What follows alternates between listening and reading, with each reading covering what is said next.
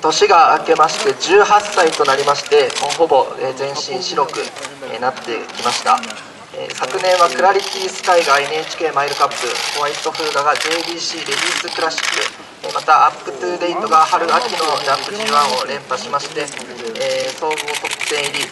相変わらずの堅実さカテゴリーの問わないマルチな活躍でトップ10入り果たしております。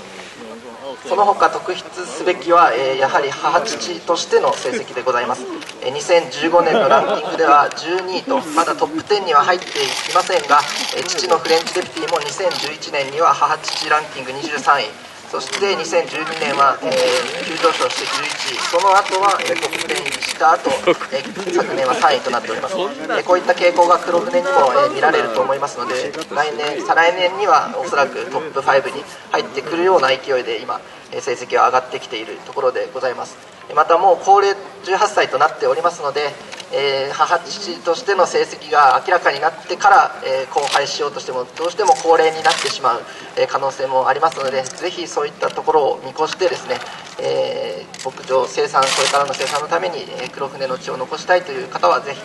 今年から、配合をどんどんしていただければと思います。そういった生産会としてのニーズが高まるところだとございます思いますので、え、そういった、気持ちで生産者の方には、え、生産していただける方には少しでもリスクを減らそうということで、えー、いろいろと協議した結果、えー、種付き量は受胎条件で200万円と設定いたしましたが、え、フリーターンという、えー、制度も、えー